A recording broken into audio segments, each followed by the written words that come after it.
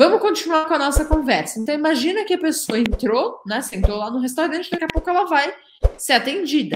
Então, a pessoa que vai atender, ela vai falar: Voilà la carte. Je vous laisse la carte de vin. Voilà la carte. Je vous laisse la carte de vin. Carte de vin, carta de vinhos, né? Isso aqui a gente tomou do francês. E você vai perceber que tem muita coisa que a gente, principalmente na área de alimentação, de hotelaria, a gente pega em português mesmo usa o termo em francês muitas vezes. Você vai começar a reconhecer algumas coisas.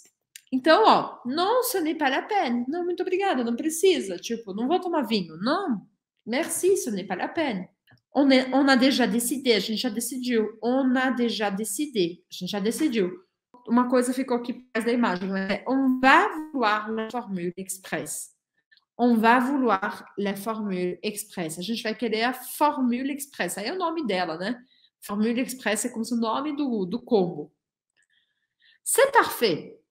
Souhaitez-vous la salade ou la soupe en entrée? Muitas vezes vai ter duas opções. E é, tipo, duas opções de entrada, duas opções de prato principal, duas ou mais.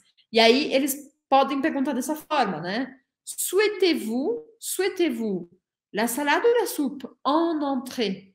En entrée para a entrada. Ok? Então, souhaitez-vous la soupe, a sopa, ou la, ou la salade en entrée?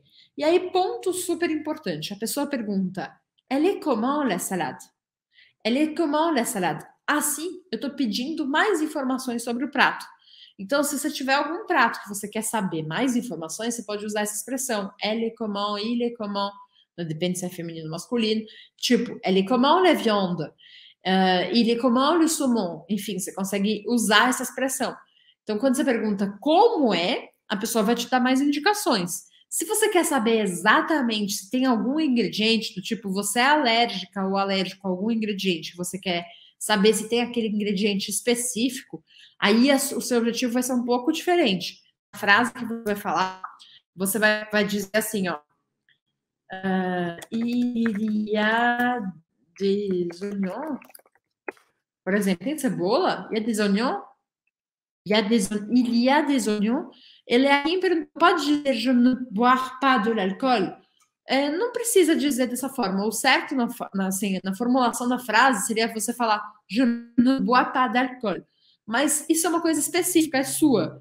E isso é um ponto cultural super importante, de diferença entre a França e o Brasil.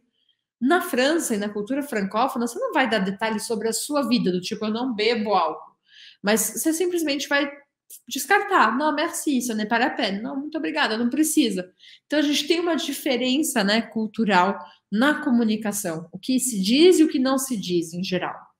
Então, a pessoa pergunta o que, que tem na salada. Ele comanda a salada. E a pessoa responde, a outra pessoa vai, vai responder com os ingredientes crudité, macho, tom. Crudité são coisas cruas, tipo cenoura, tomate, essas coisas. Mash é um tipo de, de rúcula específico de massa. Não é exatamente uma rúcula, mas é a forma melhor que eu tenho para te explicar. E tom é atum. Aí a pessoa responde: Olha, salada. Ah, então salada, gostou da salada. Olha, salada, alors. E como plat principal, muito comum que na hora que o garçom ou garçonete está tirando o pedido, prend la commande, ela já pega as informações sobre a entrada e o prato principal, tá?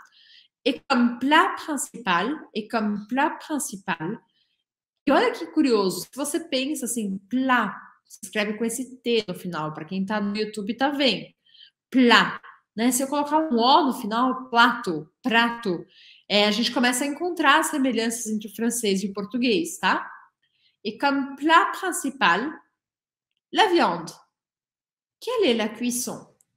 Ponto super importante aqui de alimentação, e eu fiz questão de trazer a carne como exemplo, porque aqui também temos uma questão cultural de consumo, né, diferente. Então, quando você é, pede uma carne, eles vão te perguntar quelle est la cuisson? Qual é o ponto da carne? Quelle est la cuisson? Funciona para o Canadá também, tá? Querer a cuisson. Tem que abrir biquinho aí mesmo. Na verdade, é fazer biquinho e abrir sorriso. Cuisson, cuisson.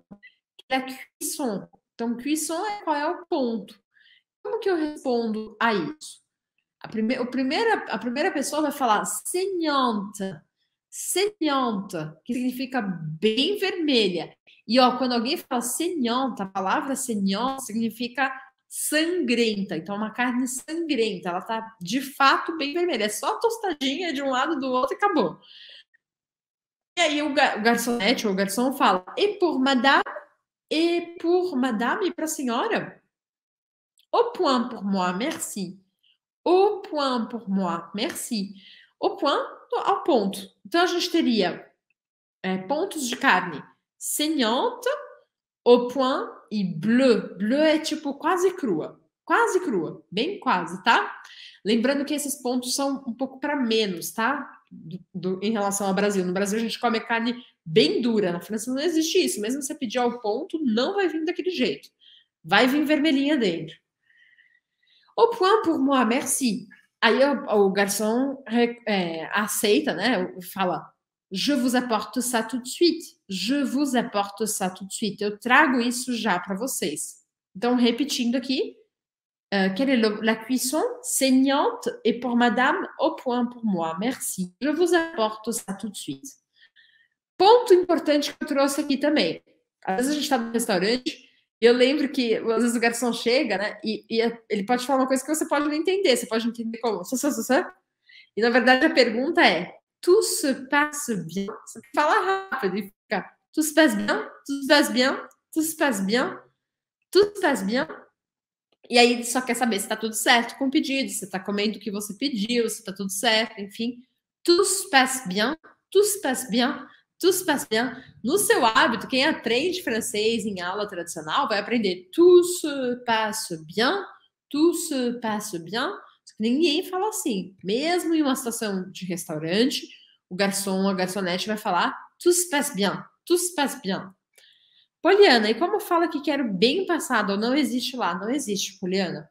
Não existe, né, Paulo? Carne muito bem passada, que nem aqui, não existe. Não.